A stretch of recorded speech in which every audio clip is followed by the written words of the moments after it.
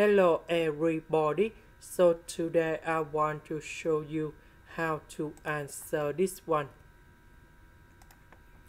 We can use about integration by parts. So I will put about u equals to sine of t minus h. Later that we need to do first the derivative for the both sides and we know that we have cosine of t minus h. Later that we need to do first the derivative of t minus h. So this one that is about the constant. So you got number zero. This one we have number one. Dv that is about this one.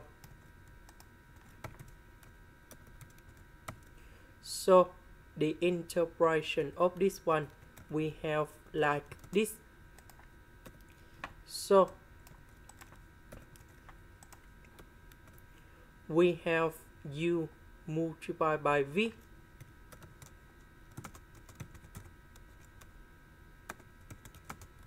And we put the bounds from 0 to t.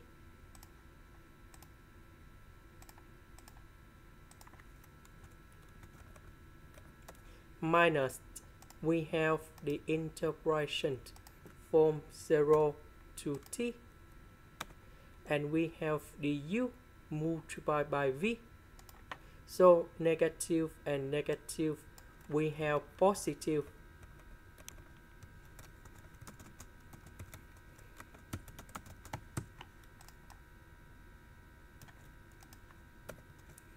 So we put T go for go for H and H number 0 go for H and H. So that should be like this.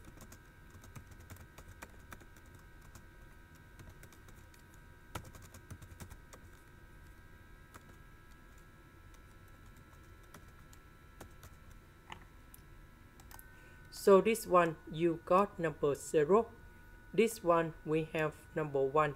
This one we have t so this one we have negative t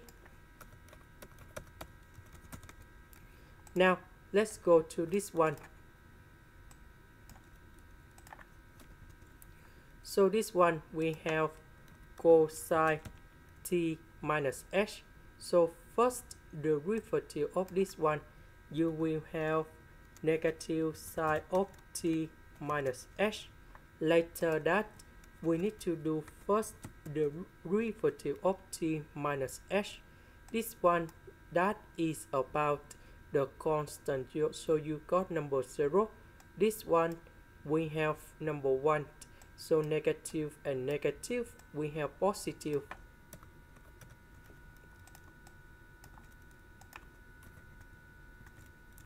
So we have u multiplied by v.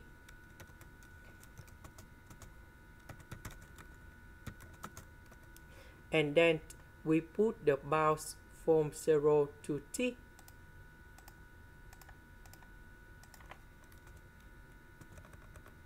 Minus we have the u multiplied by v.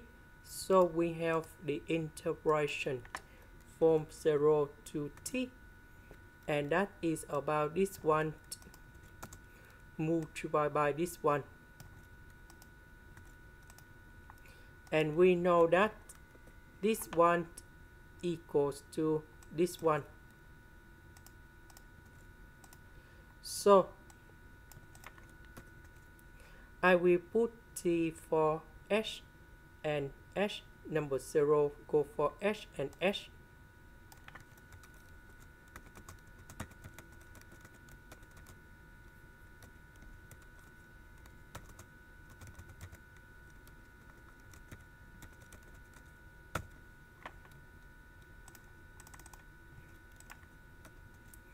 So cosine of number 0, we have number 1. This one we have number 1.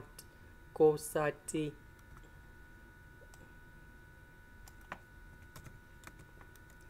later that we can put this one go to the right because all the value in here equals to this one